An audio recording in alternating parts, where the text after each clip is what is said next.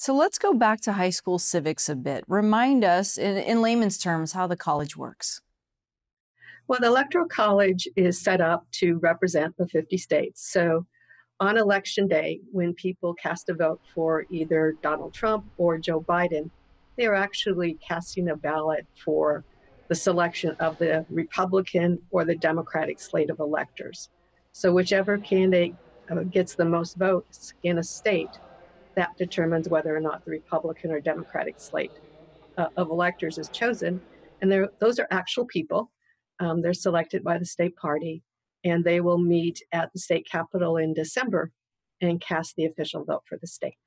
Arizona has 11 votes. What's the draw this year? I mean, we've already seen the maps. If you're trying to get to 270, both candidates would like this state.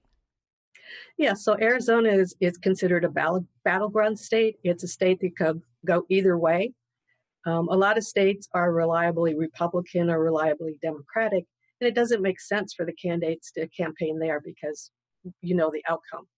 But with Arizona, we could go either way, and so it makes sense for both both candidates to uh, spend money in terms of advertising and coming to the state to, to court voters. We have a census, so it's possible Arizona could pick up a few more votes here in the coming years. Is that correct?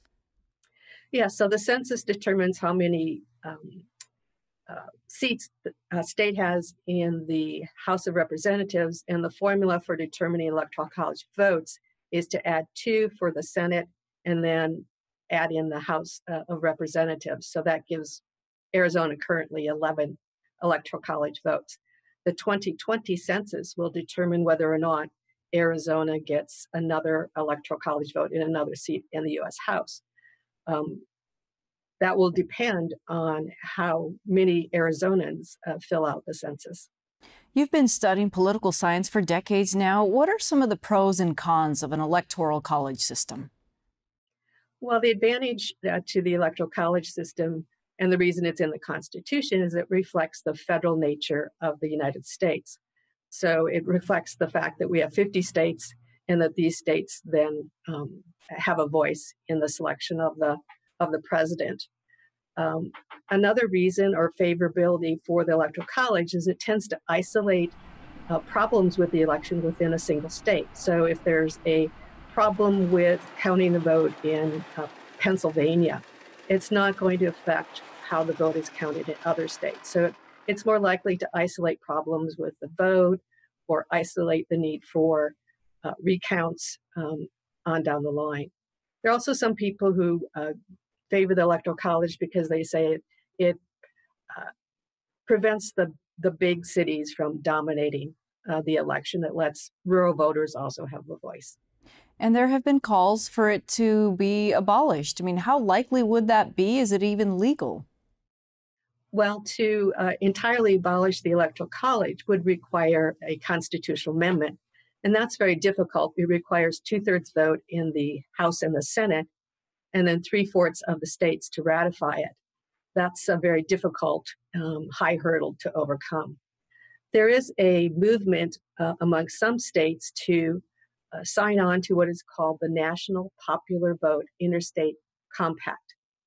And this would be an agreement among the states uh, when they've had enough states signed on, so they have to have the 270 electoral college votes needed uh, to elect the president, that regardless of the vote in their particular state, they would have their electors cast the vote for the national popular vote winner.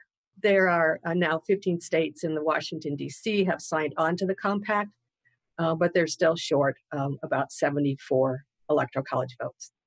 And finally, Dr. Norrander, there's there's some speculation that we may not have a winner um, the first week of November because of a variety of reasons.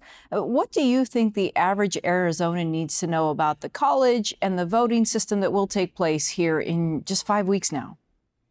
Well, in Arizona, we have the advantage that we've been doing a lot of voting by mail in past elections. So the election officials are very um, well versed in sending out the ballots and getting them back in and counting them. And so Arizona has the advantage over other states where they have not had a lot of mail in votes before. And so they're trying to sort of re uh, reinvent the, the wheel for their elections. So Arizona is at advantage in that that factor. All right, Professor Barbara Norrander, professor of political science here at the University of Arizona. Thank you so much. Thank you.